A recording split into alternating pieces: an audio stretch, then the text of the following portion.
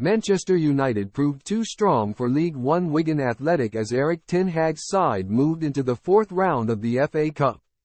Diogo Dalot fired the 12-time winners into a 22nd-minute lead with a fine curling strike after the impressive Marcus Rashford had a shot blocked.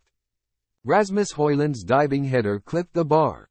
Rashford had an attempt fumbled against the post by Wigan goalkeeper Sam Tickle and Alejandro Garnacho's well-hit 20-yard effort also bounced off the woodwork as United pushed for a second.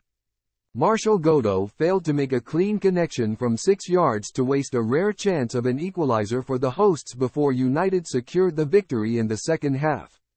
Bruno Fernandes won a penalty, with his foot clipped by Liam Shaw's challenge, before the Portuguese midfielder got up to convert from the spot for United's second goal. The draw for the fourth round took place just before kick-off and Manchester United will play at either Newport County, 18th in League Two, or non-league Eastleigh 11th in the National League and the second lowest ranked side remaining. Those clubs will have a replay next week after it ended 1-1 at the weekend in South Wales, with round 4 taking place over the last weekend of January. Wigan vs Manchester United as it happened, plus reaction and analysis. A massive competition everyone wants to win. United had 33 attempts, scoring twice, with Tickle doing well to keep the score down to just 2-0 and Ten Hag was content with the victory. It's all about the win, the Dutchman said. In the first half the way we played, how we worked the ball and created a lot of chances, was pleasing to see. We should have scored more but the good thing is we created the chances.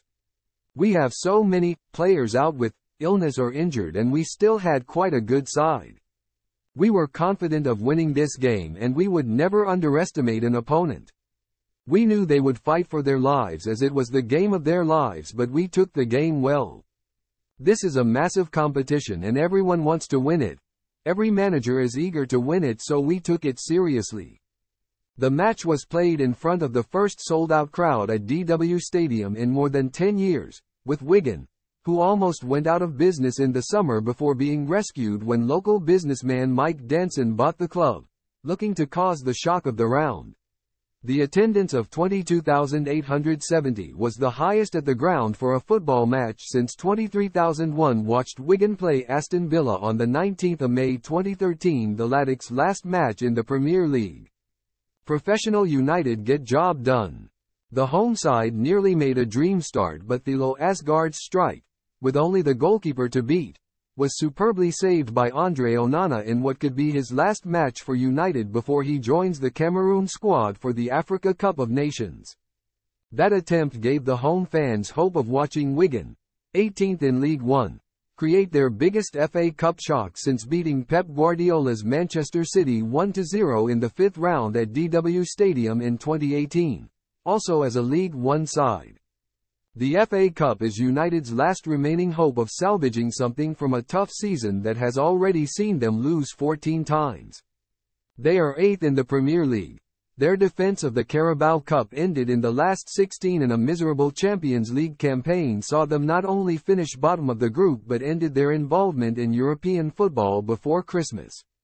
The importance of this competition was shown by Ten Hag naming his strongest possible lineup and his team then threatened to overpower a side 54 places below them in the English football pyramid.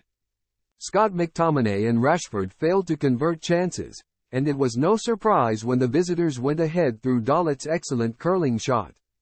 Hojlund and McTominay missed opportunities as United should have wrapped up the tie before half-time.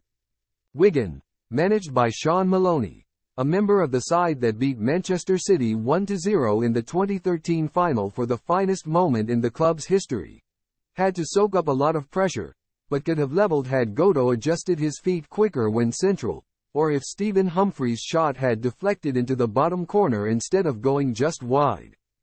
But the Latics never looked like forcing an equalizer after that before Fernandes' penalty clinched a deserved, much-needed victory for United. Maloney said he had no complaints about the result or the penalty for United's second goal, and added, In terms of the effort, I'm very proud of what the players gave. It was a difficult match and United played very, very well and were a really tough opponent. We tried to be as aggressive as we could and we found it tough. We kept going and needed some saves from our goalkeeper.